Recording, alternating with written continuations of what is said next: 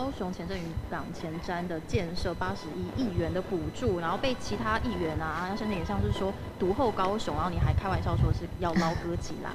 其实，因为我们在看前瞻预算的时候啊，我自己作为台北市的议员，我们就觉得说非常的不公平。从二零一七年左右，一六一七年那时候，包含台北市那时候，呃，柯文哲他去申请了第一次是送了八百七十七亿的这个相关的预算。那最后弄到现在，其实你说呢，真的跟高雄比起来哦，差非常的多。那也不是说台北市的预算要比高雄多哈，但是问题是这个一次就差到了一千亿哦，这样子的金额，两个频频都是直辖市，未免让他大家觉得太离谱。当时二零一七年的时候呢，这个民进党的江志明议员哦，就曾经说过一个大实话，说台北市拿不到预算是因为柯文哲没有去求见蔡英文。好，所以民进党自己人都这么说了，我就不晓得现在还有什么好帮民进党中央的这个大小眼去做护航的。所以我们不是认为说这个呃前阵不能有这个渔港的建设，而是说你从一开始韩国瑜市长提出的三千万整修，然后到后面比较大规模的修是十亿左右，